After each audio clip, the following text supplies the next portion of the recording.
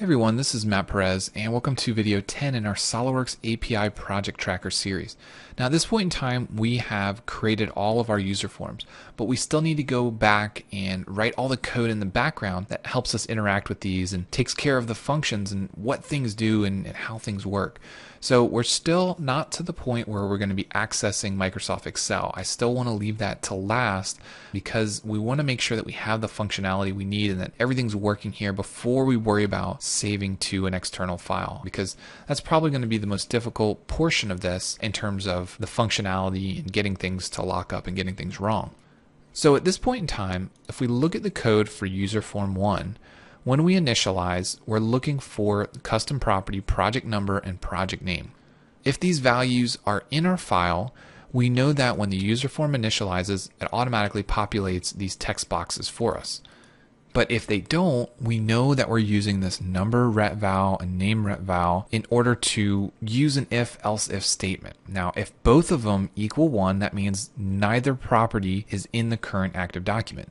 So the way that we handled this earlier when we were first working with this functionality, we sent a message to the user. We gave them an option to click the OK button. We basically warned them that custom properties are missing, and we went ahead and we added those custom properties.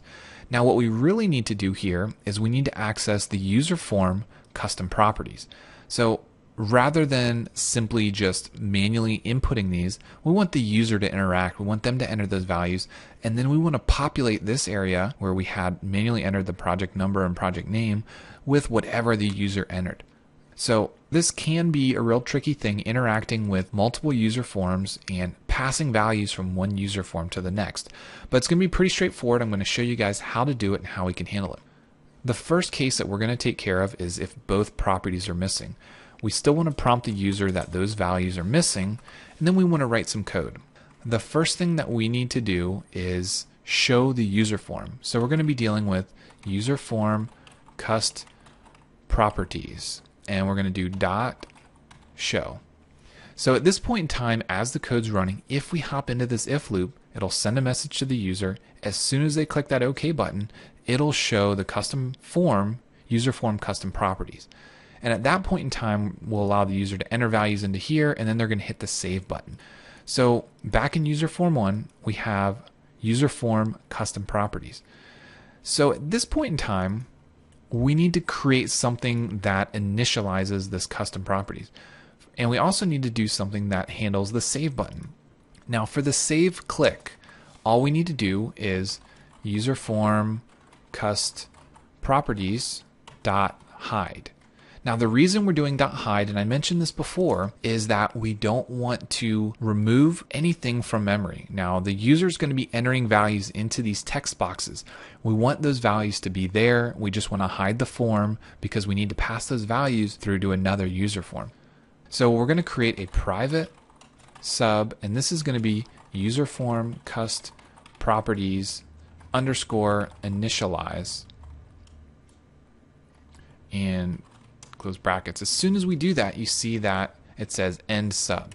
Now inside here, all we need to do is we need to handle those text boxes. Now we have a save and we have our two text boxes that are located within those frames. Now we have txbx.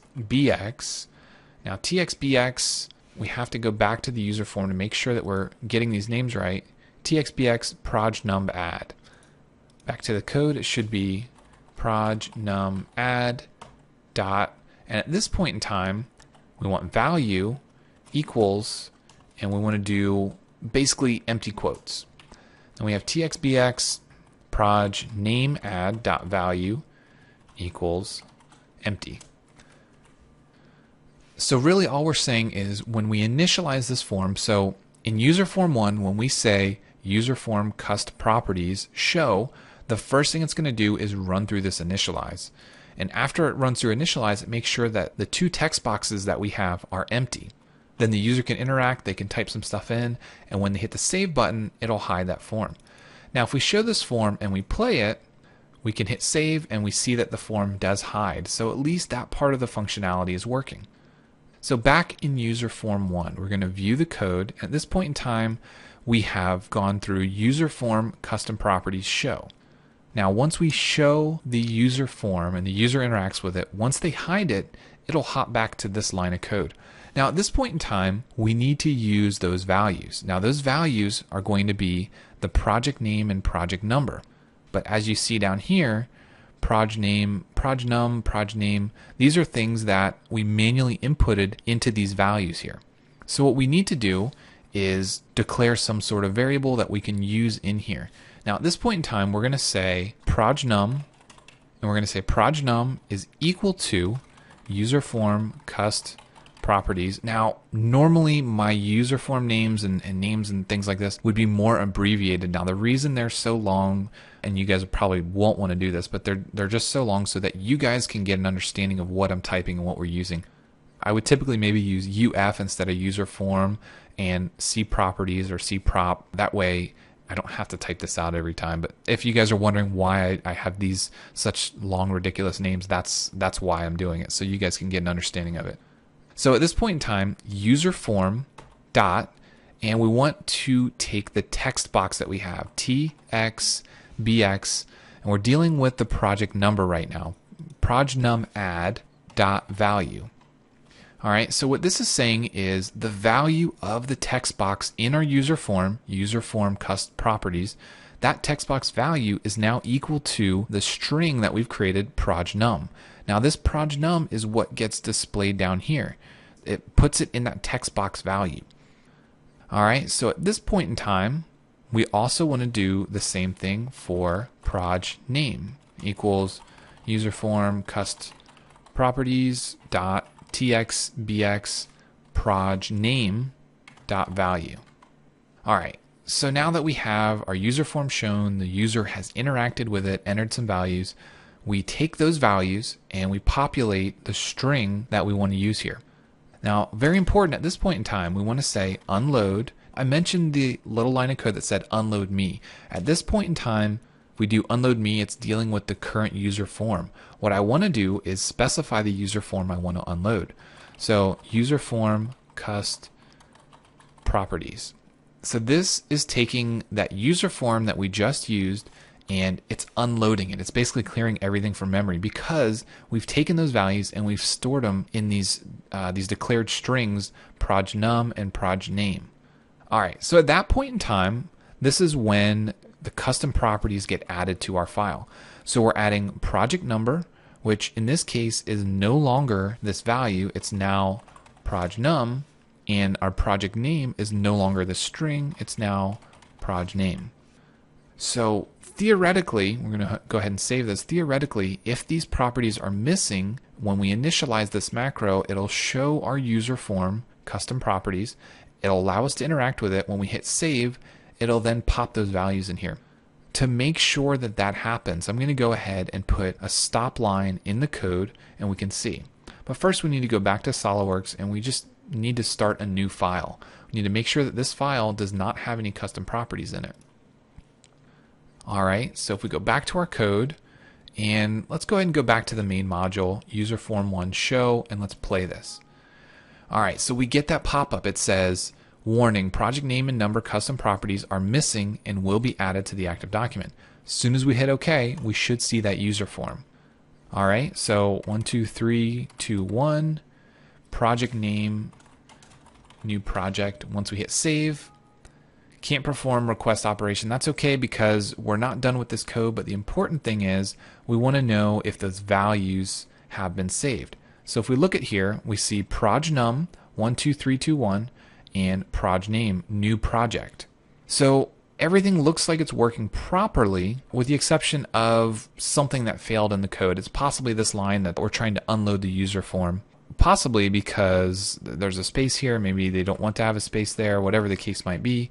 We can go ahead and stop the debug, go back to our main module, and go back to our file, make sure that we delete those custom properties. So project number was added but project name was not. So there's there's something wrong with the project name line of code. So if we go back to user form 1, view the code, basically it hasn't added it because we put this stop line in here. So let's go ahead and run back through the code. So I'm going to play it sub or function error. So it definitely needs a space here between unload and user form cust properties, but maybe there's something that is missing in the line of So for the time being, let's go ahead and comment this out and see if everything will run without it. So we're going to go back to our main, make sure that we're running submain, play it. It says that we're missing both name and number. We enter a number. We enter a new project name. We hit save. And you notice that it says unsaved document because we are dealing with part one that's not currently saved, but it brings the project number in. It also brings the project name in.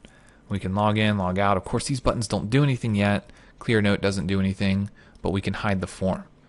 All right. The important thing that we need to see is when we reload this, if those values are still there. So back in our code, let's rerun this. You notice that it brings up the same form. So even though these values are not in our file, it's not reinitializing. Let's go back to the code, back to user form 1, back to the user form code, and let's rerun the initialize. So when we rerun the initialize, everything's working. So what this is telling me is that the reason it was still keeping the logged out and logged in buttons green and the, the custom properties were there is because we don't have any code that actually clears the entire project yet, which is true. We haven't gotten to that point yet. But the main problem here is that we're not able to clear or unload these values. So that is definitely a big problem. We need to be able to, uh, to clear and unload those. All right, so back to the code back to the line of code that is failing, and that's this unload. If you have some problems with a line of code, you need to make sure that everything that you're typing in is functional. So in order to do this, I'm going to change user form custom properties. I'm going to just change this to user form 2. I'm going to go back to user form 1 and I'm going to change this to user form 2.show and then we're going to do user form to unload. We're going to save it and we're going to rerun it. I also have to change these properties everywhere I type them.